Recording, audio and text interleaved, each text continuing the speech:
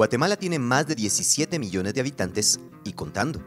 Somos el país con más habitantes en el Istmo Centroamericano y el que tiene la tasa de natalidad más alta. Y esto se explica por diversas razones. Una de ellas es la escasa planificación familiar y el poco uso de los métodos anticonceptivos. No. Dos de los métodos que se consideran más efectivos son la ligadura de trompas y la vasectomía.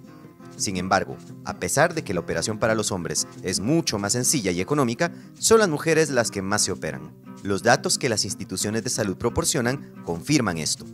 En los últimos 10 años se realizaron 65.996 ligaduras de trompas y solo 1.086 vasectomías. ¿En qué consiste la vasectomía? Una vasectomía es una cirugía sencilla que realiza un médico en un consultorio, un hospital o una clínica. Consiste en hacer una pequeña incisión en el escroto para bloquear o cortar los conductos que transportan los espermatozoides desde los testículos, para que estos no puedan ser expulsados junto con el semen y así provocar un embarazo. Entre los métodos de planificación familiar es uno de los que tiene mayor efectividad. La vasectomía no cambia la forma en que se siente un orgasmo el aspecto, la textura y la cantidad de semen sigue siendo igual después del procedimiento, así que no hay que preocuparse por perder virilidad.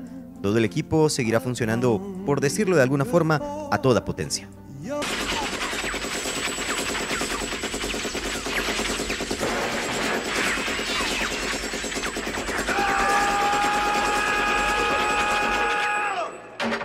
La ligadura de trompas es un proceso más complejo, para realizarla, debe hacerse una incisión más grande con el fin de entrar a la cavidad pélvica. Hay más riesgo de que se produzca una perforación intestinal o de que se den infecciones y también se requiere más anestesia. Existen tres tipos, cerclaje, cauterización y la ligadura. En Guatemala la vasectomía ha tenido muy poca aceptación.